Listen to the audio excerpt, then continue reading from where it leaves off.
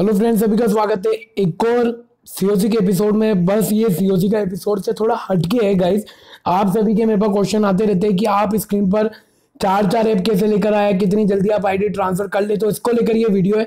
अगर आप जानना चाहते हो ये चार आइकन मेरी स्क्रीन पर कैसा है तो पूरी वीडियो को एंड तक देखिएगा।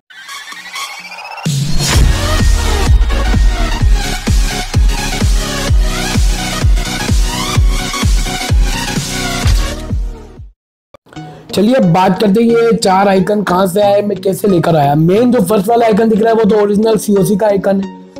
तो वो तो आप सभी के पास भी होगा। अब जो सेकंड आइकन है, उसके नीचे आप देख सकते हो, एक हल्का सा येलो कलर का मार्क आ रहा होगा। तो इसका क्या मतलब है, मैं बताता हूँ मैं अभी एम का डिवाइस यूज़ कर रहा हूँ। तो एमआई के डिवाइस में ड्यूल एप्स का ऑप्शन होता है। तो गाइज़ यहाँ से आप किसी भी ऐप का क्लोन बना सकते हैं गाइज़ तो क्लोन का मतलब जैसे मैंने यहाँ पर क्लैश ऑफ़ क्लैन का बना रखा है तो दो दो ऐप हो जाएँगे। तो एक तो ये क्लैश ऑफ़ क्लेन ये, अगर आपके पास एमआई का मोबाइल नहीं है, फिर भी आपको दो से तीन क्लोन बनाने हैं क्लैश ऑफ़ क्लैन के तो उसके लिए दोस्तों आगे के आप दो क्लोन देख सकते हो मेरे। दोनों में थोड़ा थोड़ा डिफरेंस है बट ये कैसे लाया मैं वो बताता हूँ आपको। तो सबसे पहले आपको प्ले स्टोर पर जाना पड़ेगा गाइज़ एंड जाकर आपको यहाँ पर सर्च करना पड़ेगा पेरेलल स्पेस तो गाइज़ ये एक सॉफ्टवेयर है। तो गाइज़ आपको इसको इंस्टॉल कर लेना है इजीली इंस्टॉल हो जाएगा। इंस्टॉल होने के बाद चलिए, मेरे तो इंस्टॉल है। तो हम यहाँ पर पैरेलल स्पेस को ओपन कर लेते हैं।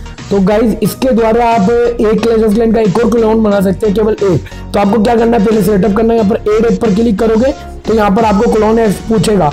तो यहाँ पर आपको क्लैश ऑफ़ क्लैन को एड कर लेना है। तो मैंने तो ऑलरेडी करके रखा है तो क्लैश ऑफ़ क्लैन है। और फिर गाइज़ कईयों को नहीं पता, ये डेस्कटॉप पे कैसे जाता है, जो मैंने मतलब मेरी होम स्क्रीन पर ला रखा है तो आपको इसको लॉन्ग प्रेस करना है क्लैश ऑफ़ क्लैन को एंड क्रिएट शॉर्टकट के बटन पर ले जाना है। तो जब ये डेस्कटॉप पे आ जाएगा, आप इसको बाहर से यूज़ कर पाओगे।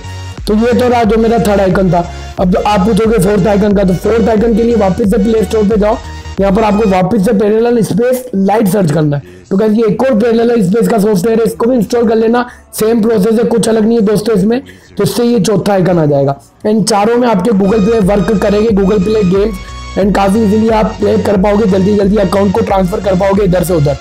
तो ये जो क्वेश्चन में से काफ़ी जनों ने पूछा था तो मैंने आज आंसर कर दिया गाइस अगर वीडियो अच्छी लगी हो तो लाइक कर देना शेयर कर देना एंड चैनल को सब्सक्राइब करना बिल्कुल भी मत भूलना।